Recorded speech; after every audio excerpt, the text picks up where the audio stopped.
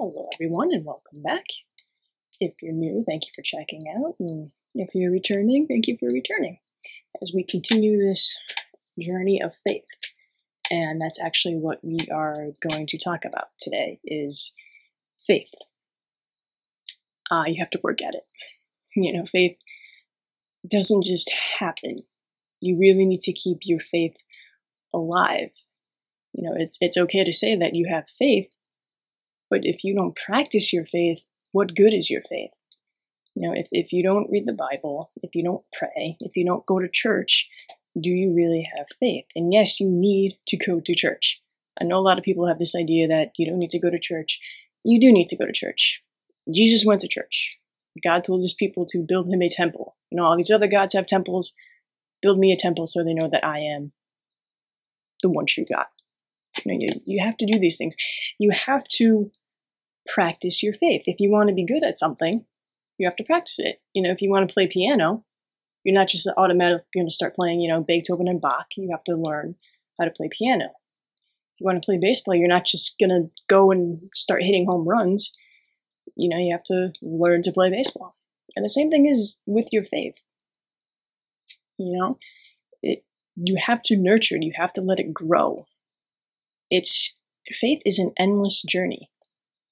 It's endless education. It's endless growth. Uh, it's a race. You have to keep going in the race, and unfortunately, the finish line is when you die. so you always have to grow on your faith. And I know there there might be some people who, you know, will say, "Well, I'm I'm comfortable where I'm at right now." And I, you know, I think I I understand what you're saying, but you really shouldn't just be comfortable in your faith. You know, if you're so comfortable in your faith, I think you're just kind of like, well, I don't know what else to do and that's fine. That's totally okay. You know, we're all, we're not all called to be priests or nuns or or religious professions, but you can still keep going and growing and learning in your faith. You know, read the Bible, even if you read the passage a thousand times, read it a thousand one times, because that thousand one time you can get something new out of it. You know, that's how God works. You know, in, in order to grow in your faith, you have to have good works. You know, if, if you don't have good works, your faith is worthless. And if you have good works but you don't have faith, again, pretty sure I've mentioned that before, it's worthless. You know, people should look at you and see Jesus Christ in you and see that you are a Christian, not what the world believes a Christian to be, because that's been totally just destroyed, and Jesus Christ, who he actually is, has been totally destroyed, which is why you have to read your Bible. Read your Bible. That's the real Lord. But if people can't see Jesus Christ in you, if people can't see the good works, are you really practicing your faith? If you don't keep, you know, God's commandments, if you don't take care of those in need, poor, sick, and hungry, visit the lonely, if you don't do these things, do you really have faith? Do you know your faith and what you're supposed to be doing in your faith? A lot of us don't. And, you know, just because you go to church and, and you can quote scripture doesn't really mean you have faith either. You have to be very careful with that. Even Satan can quote scripture. Satan knows God. Do you keep the Lord's commandments? Can people see that in you? Can they see that light? And I know a lot of people say, well, it's hard. Yeah, it's hard. Especially in this world that wants absolutely nothing to do with God and only a Christian idea of what they think a Christian should be and not what a true Christian is. It's very hard. Came to my faith, was six years ago now? I still know nothing. I still have a long way to go, a lot to learn. It's going to take time. It's going to take work. But that's what faith is. And you can't, you can't let it dry out. If you stay stagnant, you're not going to go anywhere. That's not faith. Yes, I believe in the Lord. Yes, I believe Jesus Christ is the Son of Man. He's the Messiah. He's our Savior. And you can say all these things, but unless you put it into practice, it means nothing. It means absolutely nothing. And it's hard. It is very hard. I know that it is hard. You know, when you start acting how God wills you and wants you to act, people are going to come after you because they have this idea of what the world tells them a Christian should be and who God is, and they don't really know. You know, and that's your job as a Christian to let people know who God is and, and what faith actually is and what being a Christian actually means. But we have fallen so far away that we just we don't know anymore. And when people actually do it, you're called, you know, you're not a good Christian, you fail as a Christian, all these things. And it is very hard. You know, faith is more than just going to church and reading your Bible and praying. You have to put it into practice. You have to put it in motion. Do you produce good fruit? You know, you shouldn't have to tell me that you do. You know, you see a lot on social media nowadays. All these emotional abuse, mental manipulation posts, and some of them are religious as well. You know, say amen if you believe in Jesus. Repost this if you love the Lord. Keep scrolling if you love Satan. You know, don't fall for any of that nonsense, uh, even those outside of the religious uh, sector, because there, there's a lot of those posts out there. You know, oh, one in four people are afraid to repost this. So many people are hurting. If you love them, blah blah blah. Ignore that's garbage. That's that's rubbish. And again, that's not faith. you know, when your time comes, God's not going to look at you and be like, well, you never prayed, you never went to church, so you can't be like, well, Lord, I, you know, I reposted that Facebook post of you. You know, guys, gonna be like, oh, well, hey, phew, Cheka, come on in. That's not gonna happen. I mean, there's nothing wrong with using, you know, social media to spread the love and word of God. Obviously, I'm doing it on YouTube. That'd be hypocritical. But who are you doing it for? Are you doing it because you actually love the Lord? Are you doing it for your own clout? To make yourself look good? If you're a Christian, you shouldn't have to tell me that. I should know just by looking at you, just by your actions, by the way you talk, by the way you present yourself. If you are a follower of Christ, it's as simple as that, but it's hard. It's very hard. In a world that we give so much into our own pleasures and desires, it's hard.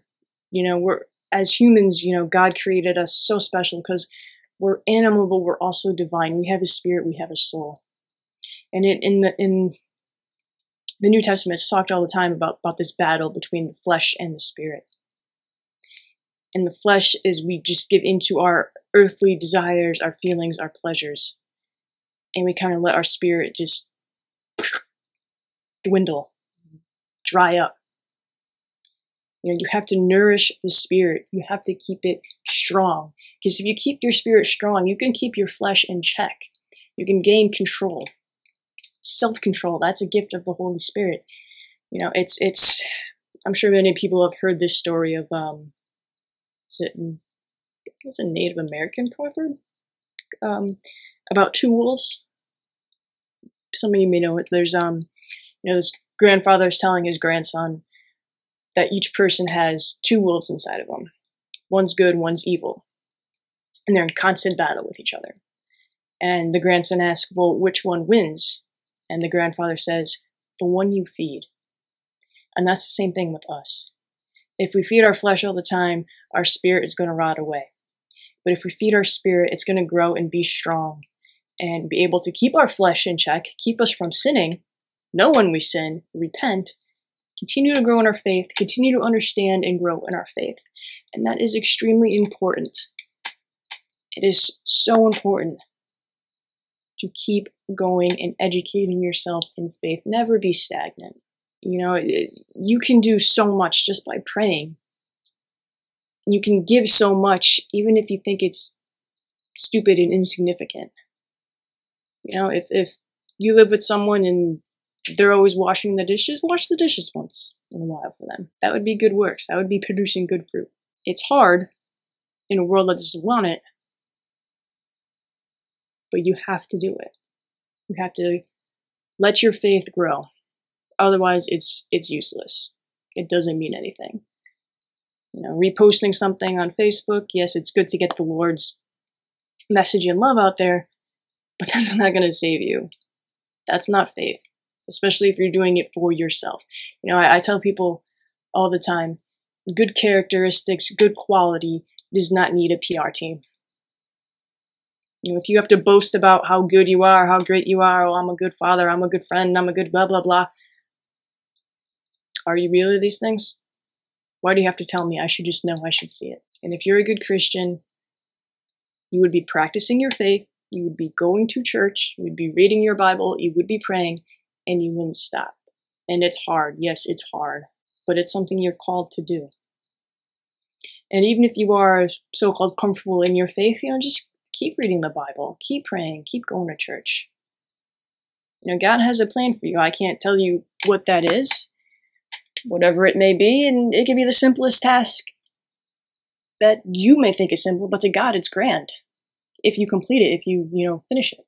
It's not easy, it's very hard, but we're all called to keep doing it, to keep practicing our faith. You know, Jesus Christ had someone ask him, you know, he wanted to be his disciples and, you know, what do I have to do? Keep the commandments. And he goes, well, I do all this. Well, then you have to let all this riches and pleasures go if you want to follow me. And the young man walked back very distraught because he had so many good things, so many riches. He didn't want to give them up to follow the Lord. That's what you have to do. It's hard. It's a step not many people take not willing to take. They think they're good enough. That you're good enough in this world that just seems so lost and evil. Well, I'm not like these people. I'm, I'm, I'm better than them. I've never done this. I've never done anything bad. Well, I'm sorry, but when your judgment day comes, God's not whipping out a Venn diagram. you see, okay, well, you weren't as bad as these people, and you're better than these people, and you get that. It's it's you and you alone. What you did and what you failed to do. And if you at least practice your faith you can say, God, I tried. And He's going to see that. You have to try. It's a muscle. You can't grow a muscle if you don't work out. Spirit is the same way. Faith is the same way. You have to feed and nourish your spirit. You have to make it strong constantly. And it's a lot to take in too. You know, I've become overwhelmed with how much there is to learn. You know, the Roman Catholic Church has so many rules and so many, so much history even it's a lot to handle. You know, I just ask God, help me to do what I can. I know I'm not going to know all of this. Help me to do what I can. Help me to do your will. Please keep going in faith. Thank you. I'll see you all next time. Hi everyone, just popping in real quick to make sure you check out this channel's Twitter account. Link will be in the description, and I will see you all in the Twitter world. All right, thank you.